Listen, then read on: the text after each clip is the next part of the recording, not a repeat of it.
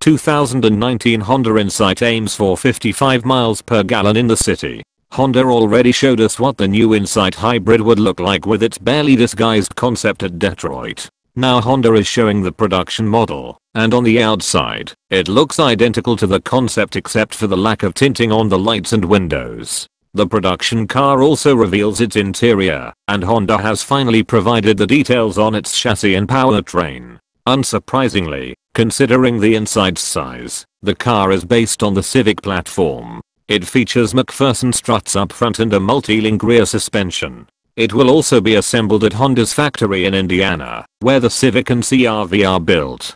Besides different styling, the Insight also features an aluminum hood, as well as extra sound insulation in the engine bay, fenders, firewall, and floor not found on the Civic. Under that aluminum hood is a 1.5 litre Atkinson cycle 4 cylinder engine along with a generator motor and a propulsion motor. Under most circumstances, the Insight only uses the propulsion motor for forward movement, while the gas engine turns the generator motor providing electricity for the propulsion motor. There are circumstances, such as highway driving, that a lockup clutch will connect the engine to the drive axles. Output of the hybrid powertrain is a modest 151 horsepower and a punchy 197 pound-feet of torque. Honda is also expecting the Insight to hit 55 miles per gallon in the city, putting it right on par with the Toyota Prius and Hyundai Ioniq. Also of note is the fact that both the engine and the battery for the Insight are built in Ohio, but at separate plants.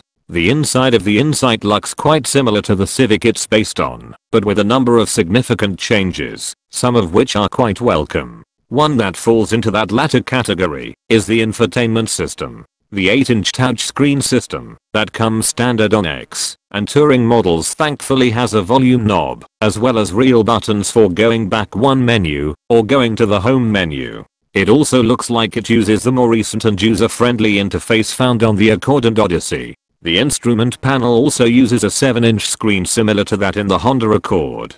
There's no shift lever either. Instead the Insight uses like those on the Odyssey, NSX, and some Acuras. Honda hasn't revealed pricing yet, but it did announce that the Insight will be available in three trim levels, LX, EX and Touring. LX models will come with standard 16-inch alloy wheels, heated side mirrors, LED headlights and taillights, Bluetooth and a 6-speaker sound system. EX models add the touchscreen infotainment, an 8-speaker sound system and keyless entry and starting. The top-level Touring trim adds 17-inch alloy wheels, fog lights, rain sensing wipers, sunroof, dual zone automatic climate control, navigation, 4G LTE, 10 speaker sound system, and power adjustable front seats that are heated and wrapped in perforated leather. All Insights also get paddles on the steering wheel that adjust how aggressive the regenerative braking is.